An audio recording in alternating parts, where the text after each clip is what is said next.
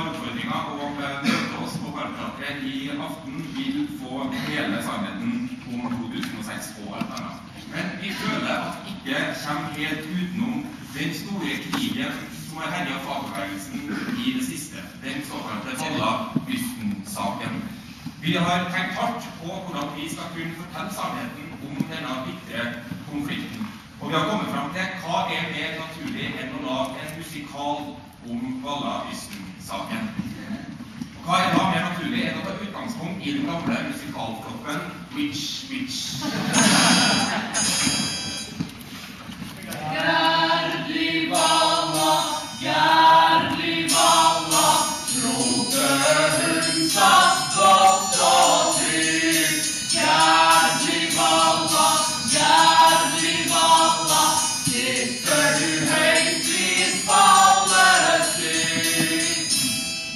Inge Rusten var som kjent internasjonal sekretær i LO under den mektige lederen Gerd Liv Valla.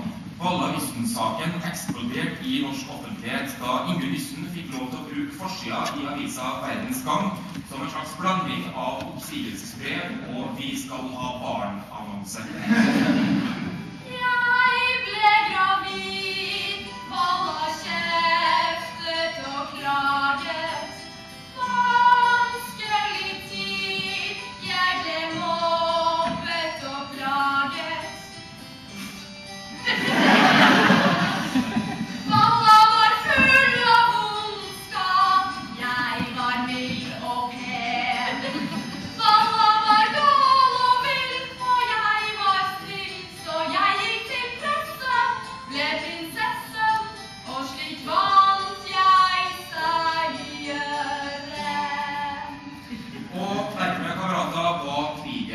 Krigen i gang. Har du hørt det gale Valla havnet i en bitter strid? Fytti rakkeren Guri malla, mobba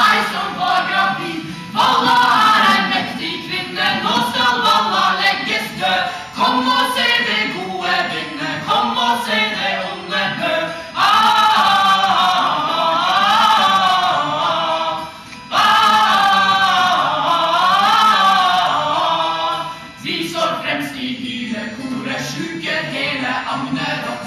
Valla er ei skitten hore, yssen står for allting godt. Endelig en ekte chickfight, det slår både vold og sex. Endelig en ekte catfight, en ekte heks. Ah,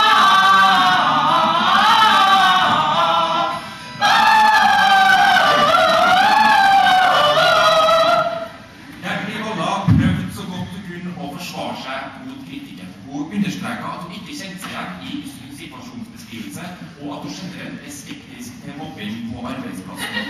Men under hardt press var Liv Valla til slutt nødt til å innrømme at hun ikke akkurat er noen pusekatt. Ingen pusekatt! Wow,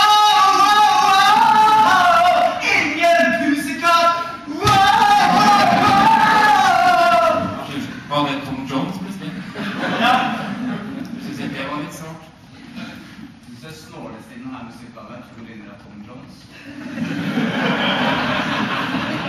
Nei, for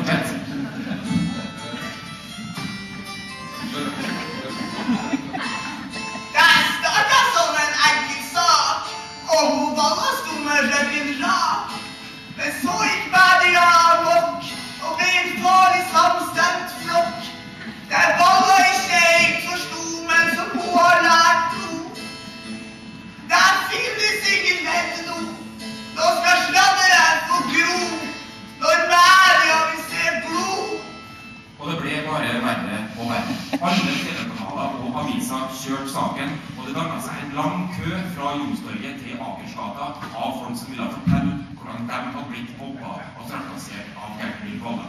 Enkelte av dem visste til og med hvem Valla var. Til slutt ble det så ille at Gertrud Walla var nødt til å gå ut og si unnskyld. Unnskyld, Inge Nissen, jeg beklager at du er så tannepuslete og spa. Jeg beklager at du sitter i siden og klager. Jeg beklager at du er så veik og svak. Unnskyld for at vi ikke tok for noe. Jeg beklager at du ble en elgkopp. Unnskyld for at du er smekk på tjukk.